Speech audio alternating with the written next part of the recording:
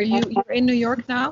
Yeah. Uh, yes, I- I'm in. Uh, I haven't left my house in uh, three weeks.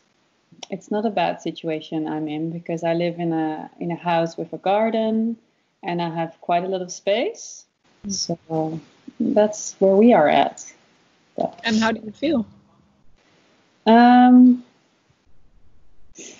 you know, I, I it, it goes through through waves. I think that you have these two sides. There's this anxiety about what is this going to Yeah, bring yeah, in yeah. the future, and then on the other hand, um, you know, there's like this. There's just nothing anymore. So you just it, it becomes really quiet uh, and inside it becomes also really quiet and you really focus on on your loved ones and and all the details that that are part of that you know? So my daughter um, turned four just when this was about to happen so we had to cancel her birthday party. So then i have a kind of a, a marker in time almost now i'm with her every day and i it's it's really silly to say but i've never spent so much time with her since she was born it's kind of beautiful and uh, to to to to find out that these things find a way by itself and that your child is so kind of a source of inspiration because she's she just lives in the moment and Yeah, yeah, yeah. takes you know it's, it's not that maybe she wonders okay why can i not go outside? And you explain to her. But then that's what it you know a child just accepts. She just takes it. Yeah.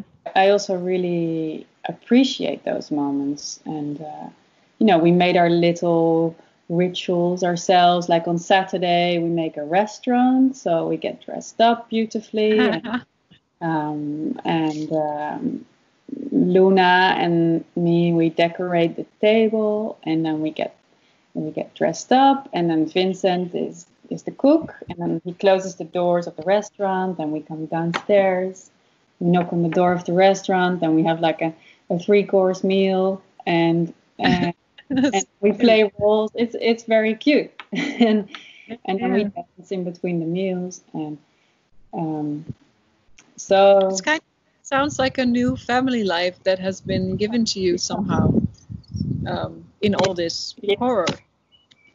Yeah, uh, absolutely. I mean, also, I think for her, I mean, she never had to challenge herself in that sense that much to kind of um, keep herself busy. But now, you know, you, you we also ask her from her to just keep herself Yeah, yeah.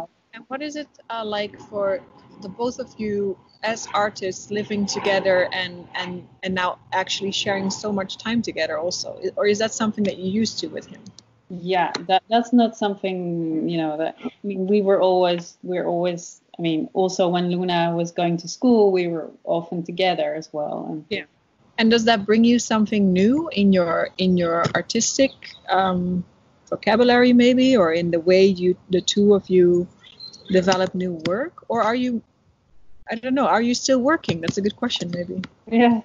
Well, um, despite the fact that I mean, I asked Luna to, you know, take care, do play by herself. It's not. I don't have so much time to, you know, maybe I have time, but not the focus really, because there's always someone asking me to either tie this ribbon or I don't know. what what does this mean or something like that so i find it hard to focus and i started studying so after um um there's the There she is. yeah Lola hey wil je even hallo Hi. Hi. hey Hello.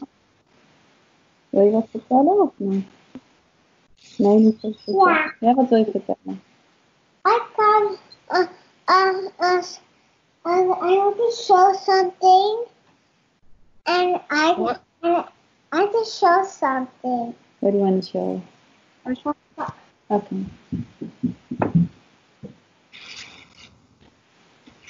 Good luck. Oh wow. A snail. Did you see snails in the garden? Yes. Yeah. Luna sings sings to the snails. Oh, what do they do when you sing? They they come out their their houses on their back. Wow. That's a magic power you have. Yeah. Okay. That's it. Yeah. Okay. Bye bye. Okay. Where were we? Like like this. Yeah. yeah. Someone comes to show you a snail.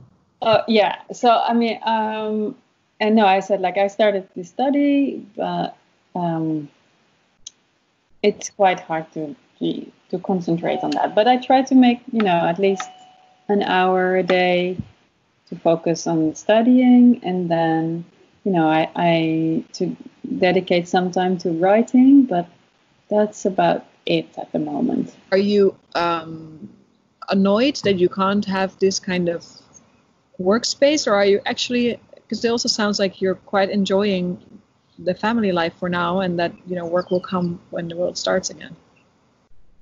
Uh, you know, I think we all don't know what life will be in. A, I mean, how long this will last, and how life will be afterwards, and if I still want the same things. I don't know. No, I, I think it's transformative in a way.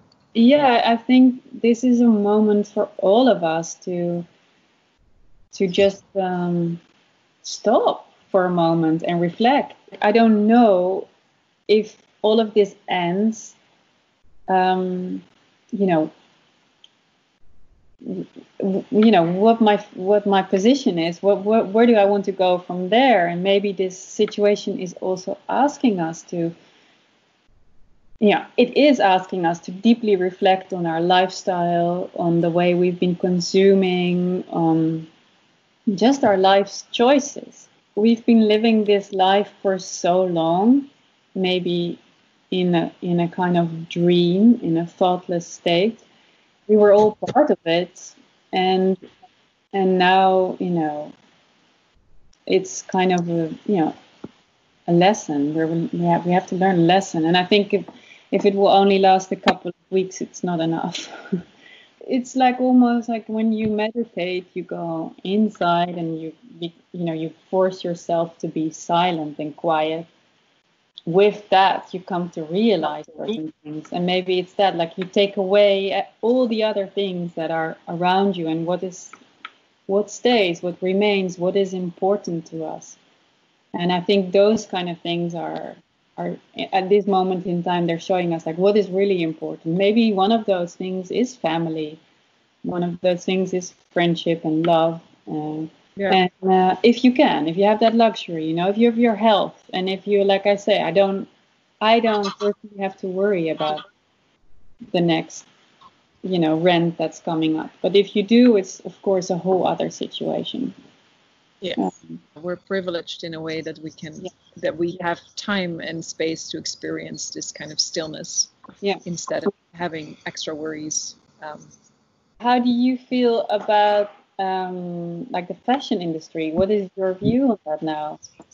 It it could be a chance to change. It yeah. could be a chance to reconsider like do we need that many seasons do we need um, models flying in from all over the world do we need uh, or can we also think about more local and, and environmental friendly ways of producing i mean what i don't hope is that this is just a break and after everything goes back to normal including uh, polluting the planet more and, and damaging the planet. You know, it, if you if you hear hear how the air has cleaned up everywhere, how uh, dolphins in Venice, like yeah. you know, that's that's such amazing news in a way, but it won't last if we go back to the old system. No. Yeah. So that's yeah. the question I think also for the fashion industry, like how how do we want to can can this be a momentum to change to an, an actual sustainable fashion mm-hmm. industry? Mm-hmm. But I don't have the answer. I wish I could be like Saskia, it's going to happen. but yeah, I think none of us have. But that's what I say. Like when we come out of this, also, I mean, as a model, you know, we have to question ourselves too. Like, is this how we want to continue?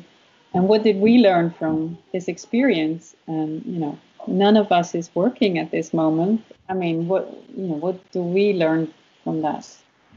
And do you? Is there something? I mean, maybe it's also too early to say, but is there something that you now being in this in in your quarantine that you don't miss?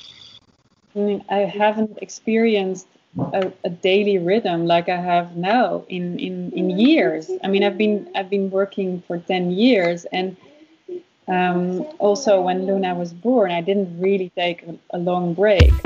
So I've never experienced just like doing the same things almost every day. That's like totally new for me, and I I think it's very healthy to have have that. I mean, that actually, you know, the kind of uh, the pace of life and the rhythm we have as models is not natural and it's not healthy and and it can be a cause for a lot of stress sometimes and you're constantly in other time zones and um, you know, adapting to new situations, which you, you know, you, it's fine. You get used to it, and it, and it's and it's also a fun part of it. You know, leaving again with your little suitcase and being in new places.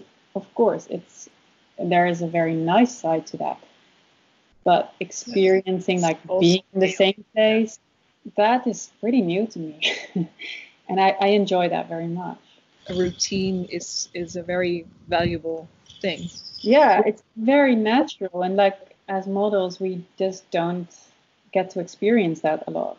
Maybe the longer this will last the more i will you know find my own way of you know yeah your family is thinking and you know there there's there's little moments that you get to have for yourself like the yeah. rhythm come with it yeah so it's starting to rain oh so i'm gonna go inside but yeah okay Thank okay, you. Okay.